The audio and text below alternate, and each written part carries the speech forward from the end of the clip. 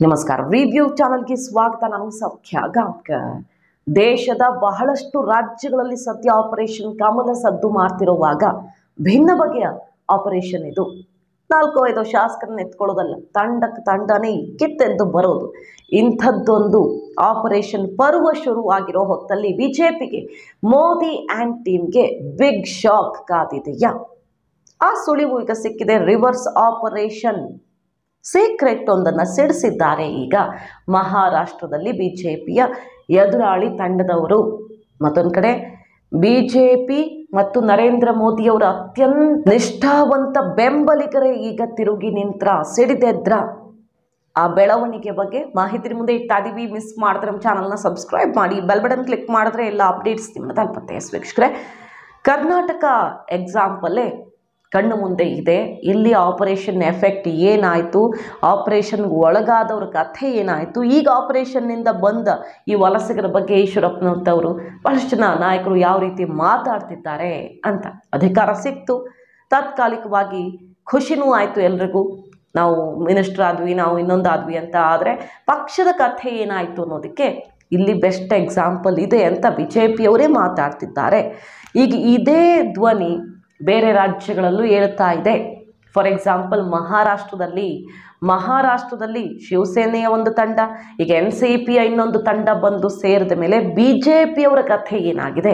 N C ಪಿಗಿಂತ ಮೊದಲು ಬಂದು ಸೇರ್ಕೊಂಡಂತಹ ಶಿವಸೇನೆಯವರ, ಅಂದರೆ ಶಿಂಧೆ ಟೀಮ್ನ ಕಥೆ ಏನಾಗಿದೆ? ಅದು ಈಗ ಕುತೂಹಲಕ್ಕೆ ಕಾರಣ ಆಗಿರೋದು. ಏಕನಾಥ್ ಶಿಂಧೆ ಅವರು ಮುಖ್ಯಮಂತ್ರಿ ಕುರ್ಚಿಯಿಂದ ಕೆಳಗಿಳಿಯಲಿದ್ದಾರಾ? ಇಂಥದ್ದೊಂದು ಬಾಂಬ್ ಸಿಡಿಸಿರೋದು ಬೇರೆ ಯಾರೂ ಅಲ್ಲ. ಆದಿತ್ಯ ಠಾಕ್ರೆ ನಮಗೆ ಬಂದಿರುವಂಥ ಸೀಕ್ರೆಟ್ ರಿಪೋರ್ಟ್ ಪ್ರಕಾರ ಶಿಂಧೆ ಅವರು ರಾಜೀನಾಮೆ ಕೊಡಲಿದ್ದಾರೆ ಅಂತ ಠಾಕ್ರೆ ಬಾಂಬ್ ಸಿಡಿಸಿರೋದು. ಠಾಕ್ರೆ ಬಾಂಬ್ ಸಿಡಿಸಿರೋದು. ಮುಖ್ಯಮಂತ್ರಿ ಬದಲಾಗಲಿದ್ದಾರೆ ಸದ್ಯದಲ್ಲಿಯೇ. ಅಂಥದ್ದೊಂದು ದೊಡ್ಡ ಬೆಳವಣಿಗೆ ಮಹಾರಾಷ್ಟ್ರ ರಾಜಕಾರಣದಲ್ಲಿ ಆಗಲಿಕ್ಕಿದೆ ಅಂತ ಹೇಳಿರೋದಲ್ಲದೆ ಎನ್ ಸಿ ಪಿ ಬಣ ಹೋಗಿ ಸೇರಿದ ಮೇಲೆ ಶಿಂಧೆ ಬಣದ ಹದಿನೆಂಟು ಜನ ಶಾಸಕರು ನಮ್ಮನ್ನು ಸಂಪರ್ಕ ಮಾಡಿದ್ದಾರೆ ಅಂತ ಬೇರೆ ಹೇಳಿರುವುದು. ಅಂದರೆ ಶಿವಸೇನೆ. ಠಾಕ್ರೆ ಟೀಮ್ ಹೇಳಿರೋದು. ಹದಿನೆಂಟು ಜನ ಶಿಂಧೆ ಟೀಮಿಂದ ನಮ್ಮ ಜೊತೆಗೆ ಸಂಪರ್ಕದಲ್ಲಿದ್ದಾರೆ. ಅಂದರೆ ವಾಪಸ್ ಬರೋದಕ್ಕೆ, ನಮ್ಮ ಜೊತೆ ಸೇರೋದಕ್ಕೆ ಲೆಕ್ಕಾಚಾರಗಳಾಗ್ತಿವೆ ಹುಷಾರ್ ಅನ್ನೋ ಸಂದೇಶವನ್ನು ಕೊಟ್ಟಿದ್ದಾರೆ. ರಾಜಕೀಯವಾಗಿ ಆಗ್ತಿರುವಂಥ ಹೇಳಿಕೆಗಳು ಕೆಸರ ಚಾಟ ಕೂಡ ಇರಬಹುದು. ಆದರೆ ಸಿ ಎಂ ಚೇಂಜ್ ಆಗ್ತಾರೆ ನೋಡ್ತಾ ಇರಿ ಅಂತ ಹೇಳಿರೋದು. ಈಗ ಕುತೂಹಲ ಚರ್ಚೆಗಂತೂ ಕಾರಣವಾಗಿದೆ. ಇದು ಒಂದು ಕಡೆ. ಮತ್ತೊಂದು ಕಡೆ ಬಿಜೆಪಿಯ ಶಾಸಕರ ಕಥೆ ಏನಾಗಿದೆ ನೋಡಿ. ಫಡ್ನ ಸ್ವತಃ ಕೇಂದ್ರ ಸಚಿವ ನಿತಿನ್ ಗಡ್ಕರಿ ಅವರೇ ಮಹಾರಾಷ್ಟ್ರ ಬೆಳವಣಿಗೆ ಬಗ್ಗೆ ಏನು ಹೇಳ್ತಾರೆ? ಈಗ ಬಿಜೆಪಿ ಓವರ್ ಕ್ರೌಡೆಡ್ ಆಗಿಬಿಟ್ಟಿದೆ ಅಲ್ಲಿ. ಸಚಿವನಾಗೋದಕ್ಕೆ ಆಸೆ ಇಟ್ಕೊಂಡಿದ್ದವರ ಪಟ್ಟಿ ದೊಡ್ಡದಾಗಿದೆ.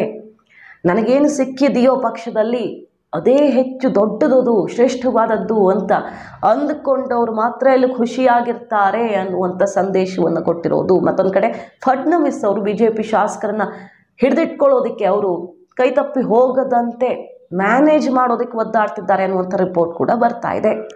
ಮೊನ್ನೆ ಮೊನ್ನೆ ಅಷ್ಟೇ ಈ ಬೆಳವಣಿಗೆ ಆದಾಗ ಮೊದಲು ಸಿ ಎಂ ಕುರ್ಚಿ ಬಿಟ್ಕೊಟ್ರು ಫಡ್ನವೀಸ್ ಅವರು, ಆಮೇಲೆ ಎರಡನೇ ಡಿ ಸಿ ಎಂ ಆಗೋದಕ್ಕೂ ಕೂಡ ಅಂದರೆ ಅಷ್ಟರ ಮಟ್ಟಿಗೆ ಎಲ್ಲ ತ್ಯಾಗ ಒಪ್ಪಿಕೊಂಡು ಮುಂಬರುವ ಲೋಕಸಭಾ ಚುನಾವಣೆ ಮಾತ್ರ ಟಾರ್ಗೆಟ್ ಮಹಾರಾಷ್ಟ್ರದಲ್ಲಿ ಬಿ ಜೆ ಪಿ ಕಂಪ್ಲೀಟ್ ಎಲ್ಲ ಗೆದ್ದುಕೊಳ್ಳೋದಕ್ಕೆ ಅಂತ ಪಕ್ಷಕ್ಕಾಗಿ ತ್ಯಾಗ ಮಾಡ್ತಿದ್ದಾರೆ. ಕರ್ನಾಟಕದ ಬಿ ಜೆ ಪಿಗರು ಅಧಿಕಾರಕ್ಕಾಗಿ ಹಪಹಪಿಸ್ತಾ ಇರೋರು ಇದನ್ನು ನೋಡಿ ಕಲಿಬೇಕು ಅಂತ ಸುಮಾರು ಜನ ಟ್ವೀಟ್ ಮಾಡ್ಕೊಂಡಿದ್ದು. ಎಲ್ಲ ನೋಡಿದ್ವಿ ನಾವು.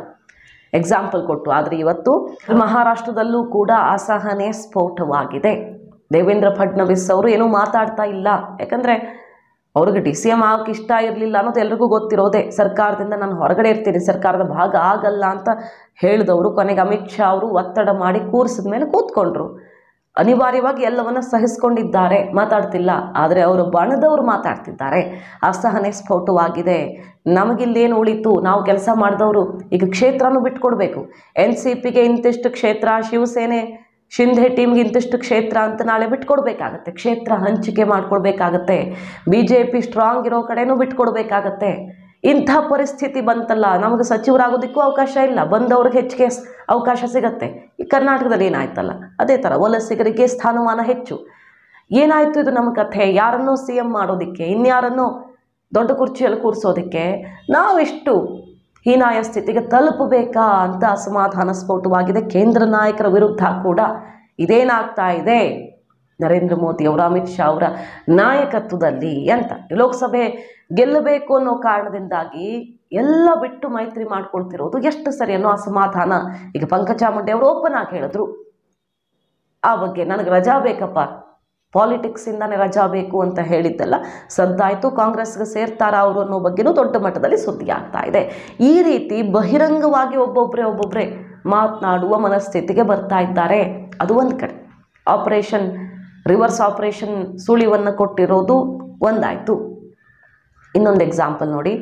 ಆನಂದ ರಂಗನಾಥ್ ಅವರ ಒಂದು ಟ್ವೀಟ್ ನಿಮ್ಮ ಮುಂದೆ ಇಡ್ತಾ ಇದ್ದೀವಿ. ಆನಂದ ರಂಗನಾಥ್ ಯಾರೋ? ಬಲಪಂಥೀಯ ವಾಗ್ಮಿ. ಬಿಜೆಪಿ ಅಧಿಕೃತ ವಕ್ತಾರ ಅಲ್ಲದೆ ಇದ್ರು ನ್ಯಾಷನಲ್ ಮೀಡಿಯಾಗಳಲ್ಲಿ ಅತಿ ಹೆಚ್ಚು ಸದ್ದು ಮಾಡುವ ಬಿಜೆಪಿಯ ಪರ, ಮೋದಿ ಸರ್ಕಾರದ ಪರ ಅಂಕಿಅಂಶಗಳ ಸಮೇತ ಬಿಜೆಪಿ ವಕ್ತಾರರಿಗಿಂತ ಚೆನ್ನಾಗಿ ಸಮರ್ಥನೆ ಮಾಡಿಕೊಳ್ಳುವಂಥ ಒಬ್ಬ ವಾಗ್ಮಿ.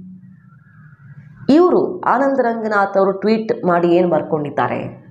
ಬಿ ಜೆ ಪಿಯ ಇವತ್ತಿನ ಪರಿಸ್ಥಿತಿಯ ಬಗ್ಗೆ ಅನ್ನೋದು ಮೋದಿ ಅತ್ಯಂತ ಆಪ್ತರು, ಭಕ್ತರು, ಬೆಂಬಲಿಗರು, ನಿಷ್ಠಾವಂತರನ್ನು ಕೂಡ ಯಾವ ರೀತಿ ಡಿಸ್ಟರ್ಬ್ ಮಾಡಿದೆ ಈ ಬೆಳವಣಿಗೆಗಳು ಅನ್ನೋದನ್ನು ತೋರಿಸ್ತಾ ಇದೆ.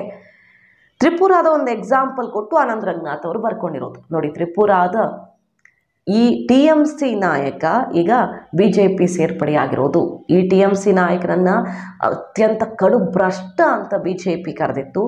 ಈ ಟಿ ಎಂ ಸಿ ನಾಯಕ ಬಿ ಜೆ ಪಿಯನ್ನು ಭಯೋತ್ಪಾದಕರು ಅಂತ ಬೈದಿದ್ದ. ಆದರೆ ಇವತ್ತು ಪರಸ್ಪರ ಕೈ ಕುಲುಕಿ ಆತನನ್ನು ವೆಲ್ಕಮ್ ಮಾಡ್ಕೊಳ್ತಾ ಇರೋದು ಅತ್ಯಂತ ದುಸ್ಥಿತಿ ಅಂತ ಬರ್ಕೊಂಡಿರೋದು ಅಷ್ಟೇ ಅಲ್ಲ. ಇದೇ ತ್ರಿಪುರಾದಲ್ಲಿ B J P vote share ಒಂದು ಪರ್ಸೆಂಟಿಂದ ನಲವತ್ತು ಪರ್ಸೆಂಟ್ಗೆ ಏರಿರೋದು.